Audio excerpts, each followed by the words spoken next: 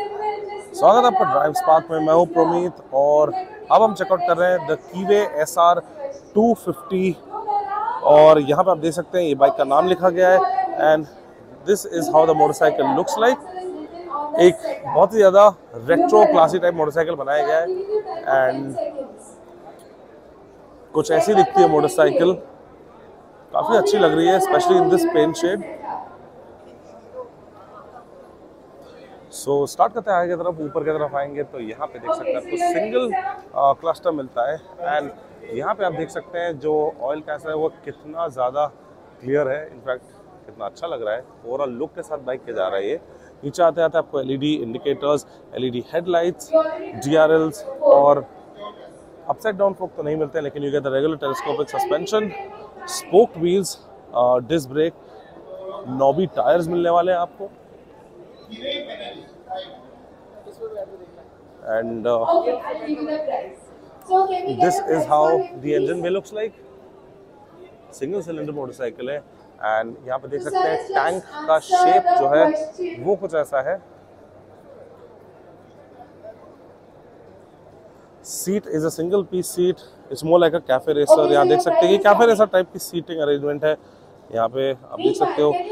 दिया गया है और एलईडी इंडिकेटर्स पीछे और एलईडी टेल लाइट भी मिलता है आपको पीछे की तरफ़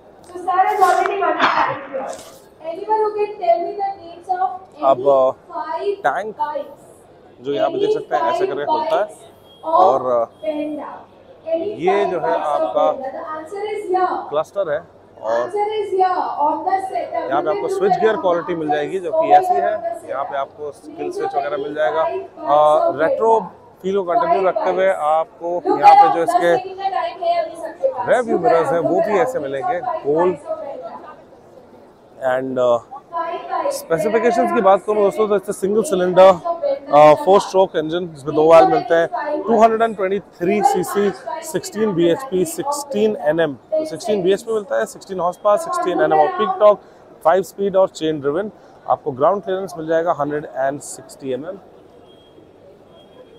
एंड उसके साथ 120 kgs की ये बाइक है। The tank capacity is 14.2 litres and seat height is 780 mm जो कि एडिक्वेट है। आगे तरफ़ टेलीस्कोपिक सस्पेंशन पीछे की तरफ़ भी आपको टेलीस्कोपिक सस्पेंशन मिलेंगे। यहाँ देख सकते हैं आपको। इसमें आप रिबाउंड एडजस्ट कर सकते हैं उसका। सिंगल डिस्क आगे सिंगल डिस्क पीछे। Dual channel A B S tyre profile front section is 110 70 by R17 and rear is 130 70 by R17 तो टायर जो है 17 इंच के स्पोक व्हील्स हैं, आपको अलॉय नहीं मिलने वाले इस पे।